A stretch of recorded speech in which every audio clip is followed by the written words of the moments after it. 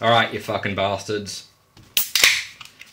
Gotta do that because YouTube has gone to hell, so I don't want to be monetized anymore, and if I swear in the first seven seconds, then the, no ads will shine. So I turn monetization off on all of my other videos. Oh wow, this is really zoomed in up close.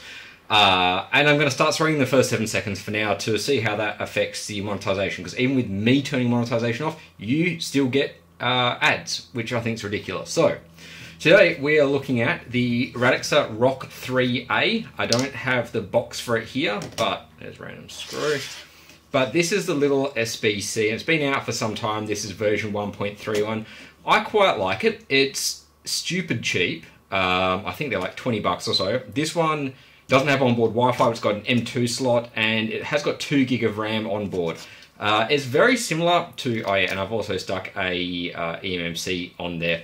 Um, it is very, very similar to the Radxa 3, uh, 03W, which I did a review of recently, except that's a th uh, Rockchip 3566, this is a 3568. So instead of being 1.6 gigahertz, it's 1.2 gigahertz. There are a few other little differences as well. So we're going to have a look at what makes this different, how the image is broken, how it goes with Wi-Fi, because that was obviously a big issue, how we can overcome the issues with the factory image, and heads up, I've made my own image you can download and use.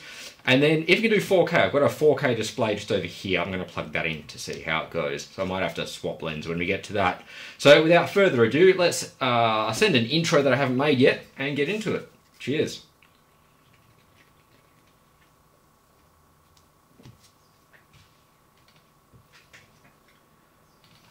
Now, on top of this, also having the uh, slightly faster processor, it's got one tera operation NPU, and it also supports BFloat 16. So if you're running any basic uh, machine vision models, it does really well at that, and it you would imagine it's kind of designed for that, given that it supports eMMC, so you've got some faster storage on the back, but it's got MIPI DSI and MIPI CSI, only two lanes, so you'd be pushing um, yeah, pretty hard bit rates to do 4K, but it does also do 4K out HDMI, which is pretty awesome. Uh, let me just see if I can fix up some of that focus there and get us a better view of this. It also supports quick charge and power delivery for the USB-C power. It's got the 40 header pins on board as opposed to having to solder them on. Uh, it has an M2 slot as I mentioned, so I'm going to use that to stick a Wi-Fi module into it. It supports, because it's got the pins there, the PoE hat, uh, which you can get from Waveshare. I don't think I've got any in stock. It's got additional USB ports, as you can see there, slightly out of focus. And uh, it, it's a slightly bigger form factor. This is your standard credit card size form factor. Um, oh yeah, it's got uh, M2 on the back keyed for SSD. And so I think that's, uh, what is that, E keyed and that's A keyed or whichever way they go around. But it's quite a powerful little device. It does need a fan on it, so I've got these fans in stock and you just stick it straight to the top and then what I usually do is tie it straight to ground and you can either go for the 3.3 volt or the 5 volt. It depends on what you want to do, but it can get a little bit loud and I'll show you that shortly. So first of all, I've flashed this with the factory image and the factory image is a bit slow to boot and has some failing. So I'm going to plug in a little Luckfox HD display and we'll have a look at that. Won't be a sec. Alright, that Nifty 50 is a good lens, but this gives us a little bit more focal range. Now, um, this is a 7-inch Touch HD, and what I've done, I've got a little flat ribbon cable here, which is HDMI coming back here, and I've then hijacked the power out that this has, and given it to the 5 volts there, leaving the fan on 3.3 volts, and I've got the USB dongle plugged in. Alright, so now if I plug this in, you see you've got the little green light mm, that's come on there. And then it does hang for a moment here with um, the default loader, which bothered me, but I think I found a workaround for it. And then we're going to see the blue light start flashing next to it. There we go. That is going to be a bit bright. I'll see if I can tone this down in editing. And it does otherwise boot reasonably okay. Uh, that blue light's just running a heartbeat script now. And the default logging is Radxa and Radxa. Now, this does work quite well. Um, I haven't found many huge issues with it, but there are one or two things that really put a spanner in the works as far as I'm concerned. Now, just to quickly touch on a few things um, that are missing from when you actually do go to flash it. The instructions aren't very clear, but you do need essentially what's I, guess the worst thing in computing since Windows ME, and I call it a danger noodle. It's uh, USB 2.0 Type A to Type A cable. Now, I just made this myself. You can kind of uh, see there how I've just literally, I mean, that's really bad. I did it this way just so I could show you, but it's literally a pin to pin from a Type A to a Type A. This is a really bad way to do it. I wouldn't encourage you to do it. I'd encourage you to buy one if you have to. They shouldn't have used this. They should have used an actual OTG port. Uh, but yeah, if you do have to flash it, it is the top uh, USB 3 port on the side. The documentation, the new documentation, doesn't state that. Uh, now, if you do find somewhere that sells the Danger Noodle, then I would go there, buy just that, and then never go there again because no shop should ever sell those. They can do a lot of damage if used in the wrong way. Um, now, when you do need to flash it as well, these two pins here need to be shorted, not the inside one, the two outside ones. You can leave them shorted though. Um, I usually jam a screw in there because they need to stay shorted, but after you flash it, you can leave them shorted. You also need to short these two pins just in here. They're actually the mask ROM pin. So I just use tweezers, unplug the power, tweezers on there, make sure that's shorted, plug the power back in, and then let that go. And it's in mask ROM mode, and you can flash it. Uh, it is it is pretty easy, but the documentation is not very clear about that port or about the pins. Uh, but that always works the trick. Now you can see here, moving the mouse around, it pretty much does work as expected, but you can see that's it's got some lag going on. Like that's pretty horrid. Um, so that's instantly going to make it quite difficult to use, and not having networking is going to be a little bit challenging. So I'm just going to shut it down. I've got uh, a couple of different Wi-Fi modules I've got in stock and on hand. So I'm going to be using the, I think this is an AX210. I've got one or two of them left. So you can literally just slot that in the E keying there and with a little screwdriver, if I can try to not knock anything, there we go. And now, before you boot this back up, it does have a little power button on the side. Wait for the loader to kick in again. I might need to power cycle it. The, the button says it's a power button. I don't know if it actually works.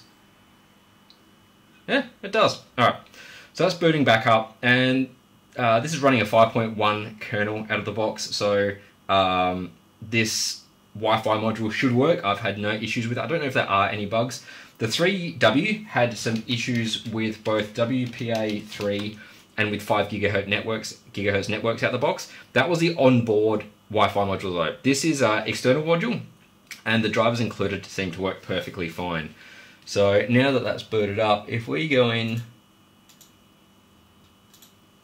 you can see I've got my test networks here. I'll just jump. Actually, no. You know, I'll make a point. I'll prove my point, and I'll join a 5 gigahertz WPA3 network. This doesn't have transition mode enabled. It is a straight WPA3 network that I'm not typing into. There we go. So that joins. I've got good signal, but we're going to be hit by the issue. Um, I mean, obviously, with these graphics drivers, these are the Panfrost drivers. And if we can, my clock is behind that. It is. I'd expect it is. That is definitely not the date. Um, if we run GLX gears, what performance we getting out of that there? 94 FPS. So that gives us a good starting point. But I've used this before, and you can see even just using the menu, you're going to want to smash your head with a brick. So I'm going to flash this with the image that I've made. Uh, the image is Armbian instead of their Radxa image. I've also used Debian uh, SID, so it's got a 6.1 kernel. Um, I don't have the touch connected, so I'm going to shut it down, flash it with that, then we're going to boot it back up and compare it. Hold please. So if you're using RKDevTool 2.9 something to flash this instead of 2.6, then it's going to be missing the write by address checkbox and the storage name. So for the loader, um, you want to call it loader but have nothing under storage. You do want to specify eMMC, and I'll put a screenshot on the screen for you. You can see here, I've probably already put the screenshot for you. Um, uh, and you want to specify the eMMC for that and call that image, and then you want to tick write by address. I don't understand fully how this work, works, but that's how you flash it in this version. and I have found that mine errors at 99%, but still works fine. So I'm not sure if that's a checksum issue or something like that, but it's always been right for me. Alright, so I've now just flashed it with my Armbian build, uh, which is Armbian 24.5 using the 6.1 kernel with Debian SID. Um, now I was going to flash it with the, uh, the SPL loader 1.12.109 because I found it doesn't hang at the start so much, but my Danger Noodle being home baked like you saw is just not great. Uh, the signal's actually pretty bad, so it doesn't always flash properly. Uh, that could have been why it got to 99%, but it does work as I mentioned. Now, uh, this image I'll put a link to below. I've got it on my GitHub page, and do I? Oh yeah, it helps if I plug in this USB dongle. Um, it doesn't have any of the Radxa firmware and customizations in it, but it uh, it's just straight up Armbian, which I found works pretty well. So let's go through this Armbian first time setup.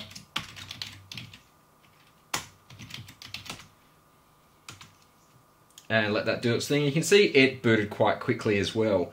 Uh, connected by wireless, yes, I forgot it has that feature built in. So we will also go grab the 5WPA3.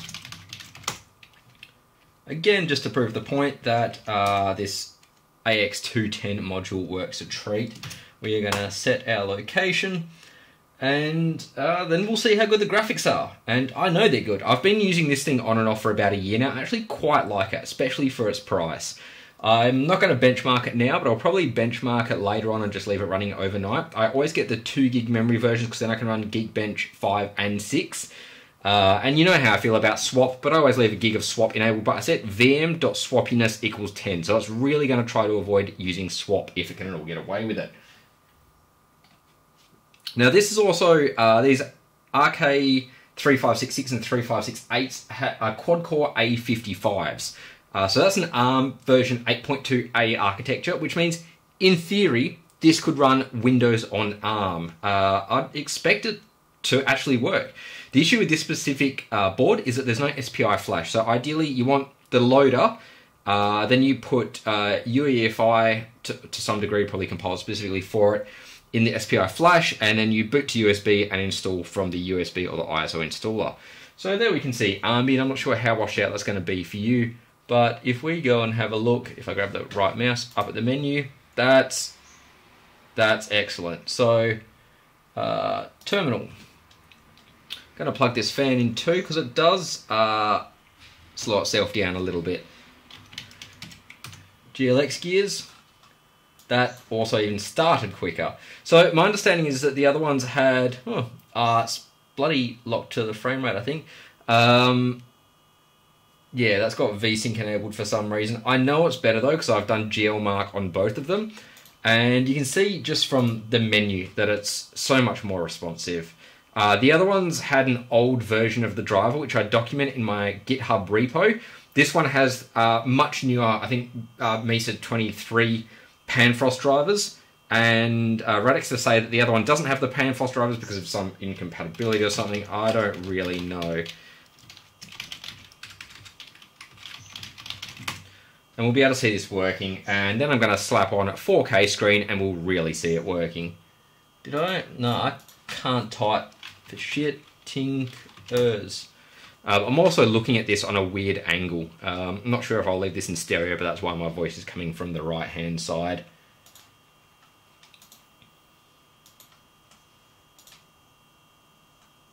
Little fans making a little bit of noise, but not too bad.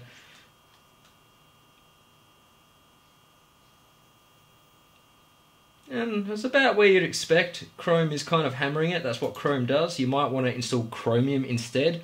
It is actually a little bit lighter, but I've found that you know, for the most part, this thing works quite well. Uh, you just get much better graphics from the get-go with this version of it.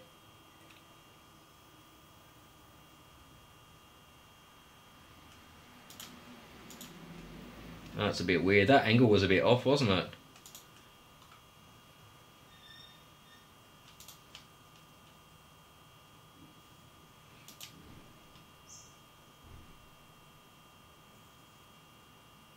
And that's it. Besides buffering, working as it should. Now these uh, these screens I've got one or two left in stock as well, and they're pretty bloody handy. Um, so what I'll do, I'll pause it there, and I'm just going to unplug this. And actually, I'm going to completely power the whole thing down because I'm going to unplug this screen as well to plug that other one in.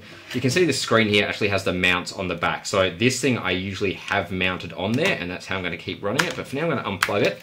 I'm going to plug in this 4K screen, and we'll see that it actually does 4K 60 as described.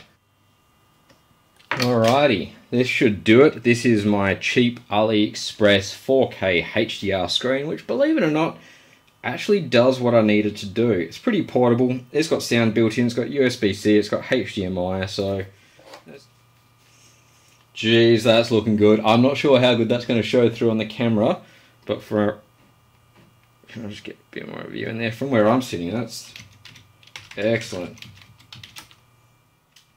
Good timing too. I've only got about seven minutes of storage left on this SD card. Jesus, I should change the DPI though, or the scaling, because that menu is going to be impossible to see. Look at that. I've actually got to look up close with my head. But it's obviously doing 4K. I can't, let's actually, let's piss that off for a moment. That looks like terminal.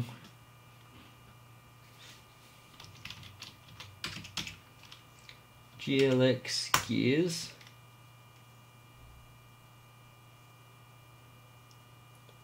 It is running synchronized. Yeah, alright.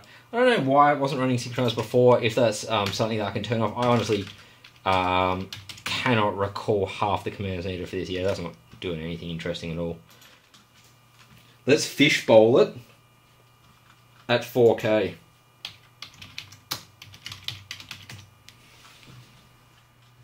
It's doing something. I'm not sure what's going on here, to be honest.